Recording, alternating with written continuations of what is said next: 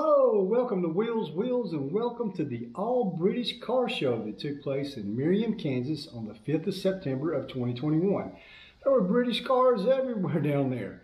You know, I actually heard over the loudspeaker that this was the largest all British car show in the Midwest.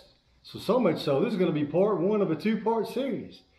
Now, you are going to see some friends of the British in the show as well. That's going to be in part two. But anyway, just sit back, relax, enjoy the show.